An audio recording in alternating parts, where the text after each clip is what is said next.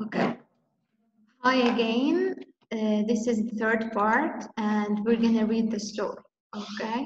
And through reading, I'm gonna tell you some notes about it. So, first, remember this is a myth. Okay, because characters are real. We have real animals like frog, emus, kangaroos, kookaburra. Okay, but this is a myth because characters are real, but events or actions are not real.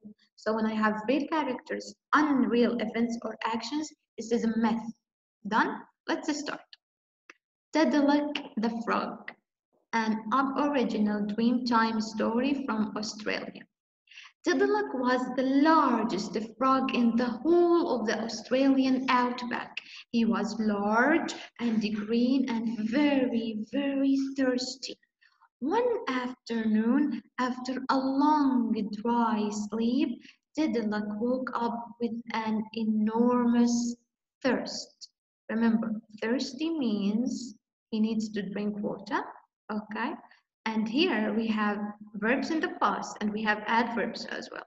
So, Australian, outback, this, this is a place in Australia, so this is an adverb. And we have one afternoon, this is adverbial phrase. Was is a simple past verb, okay? So, Tiddalik was the largest frog in the whole of the Australian outback. He was large and green and very, very thirsty. One afternoon, after a long dry sleep, Tiddalik woke up with an enormous thirst. Go to next page, please.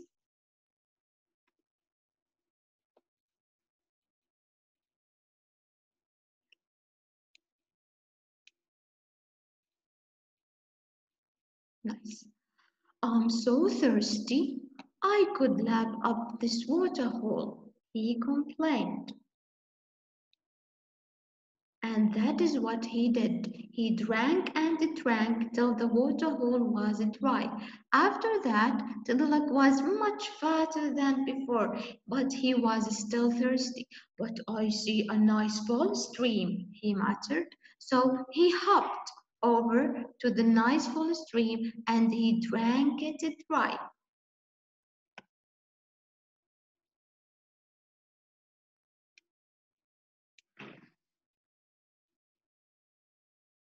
So let's have some notes here.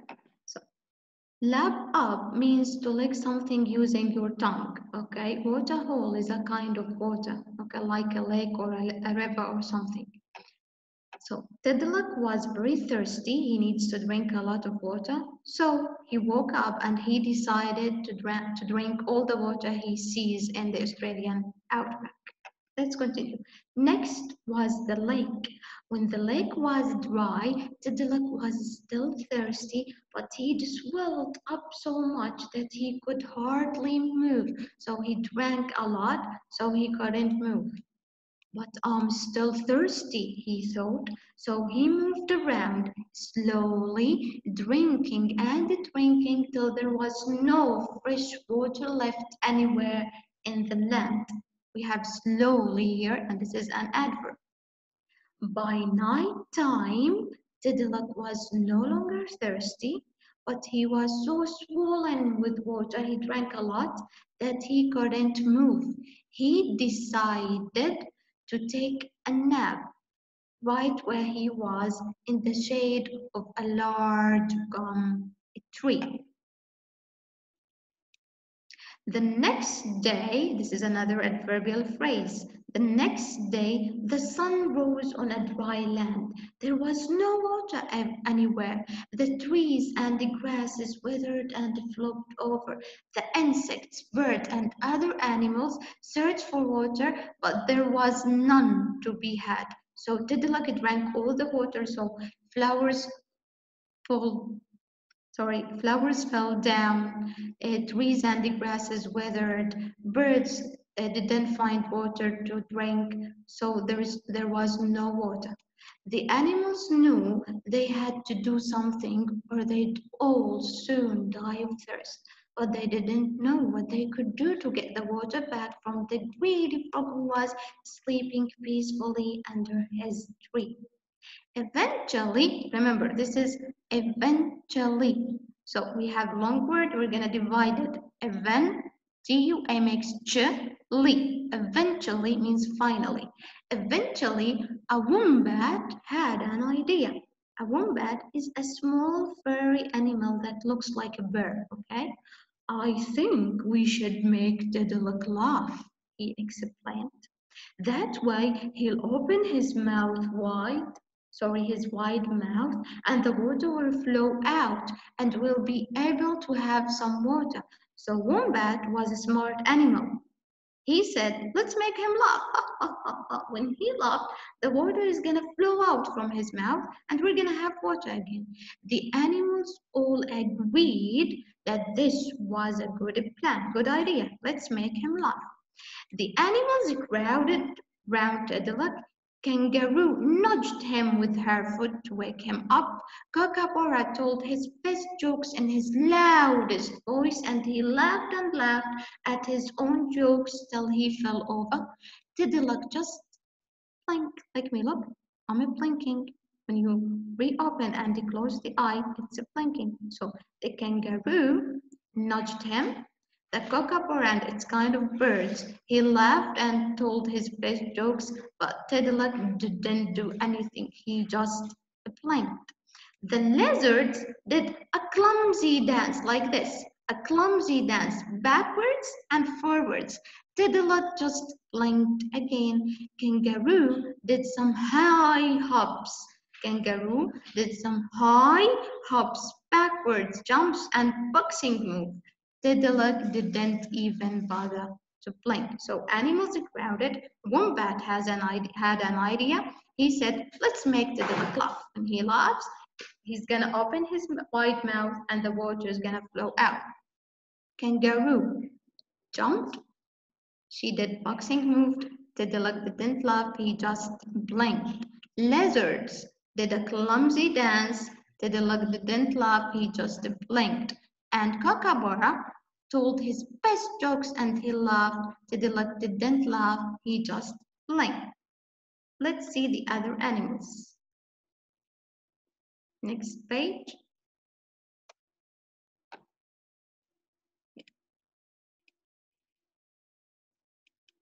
The emus fluffed their feathers and pecked madly at each other.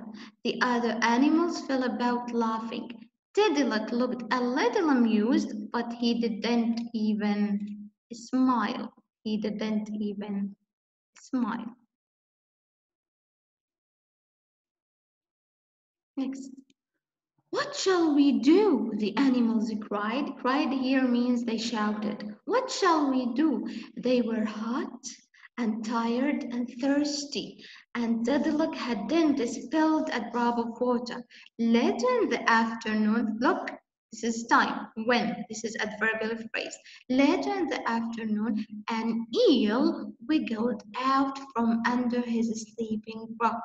Look at the picture here. This is the eel. Eel is a snake-like fish animal, okay? So, where is the water? It's all gone, he moaned. Eel crawled towards the animals gathered around Tiddalik, but the sand was hot and he couldn't crawl over it. So he tried to stand up on the end of this tail. So look at his tail. He stood up at the end of his tail. Eel struggled to balance on the end of the tail. He wobbled one way and another, and he bent himself into all sorts of shapes, trying to avoid the hot ground. Tiddalik stared at the eel. He opened his mouth wide. Eel hopped and popped and twisted and jived, trying to keep his balance. As Tiddalik watched the unhappy eel, he started to smile. His smile got bigger and bigger till he started to giggle. So Tiddalik smile got bigger and bigger till he started to giggle. Finally, he laughed out loud and his mouth opened wide. As Tiddalik laughed and laughed, the water gushed out of his mouth, filling the streams, the lakes, and the waterholes all over the land. Thank you, Eel, the animals shouted. It was you who made Tiddalik laugh. But Eel didn't even hear them. He was so happy to be swimming around in a lovely, cool, muddy water again. This is the end of the story. So remember, this story is a myth. It talks about Tiddalik the frog and more than one animal. It's a myth because it has real characters, unreal events, Okay, and it talks about a frog who's very greedy. He woke up one day, he felt very thirsty, so he decided to drink all the water in the Australian outback. Animals gathered, they thought for a solution for this. So the wombat was smart. He suggested to make Tiddalik laugh. When he laughed, he's gonna open his wide mouth, the water is gonna flow out. Animals did everything they could do. Kangaroo jumped and did boxing moves. Um, lizards did a clumsy dance. Kookaburra told his best jokes and laughed out loud. And the emu fluffed its wing, but Tiddalik didn't laugh. He just blinked. Finally, the eel came. He did everything. He tried to balance on his tail. He jibed and twisted in the air, and Tiddalik laughed out loud. This is the story. Try to read it alone at home. Thank you very much. Have a nice day.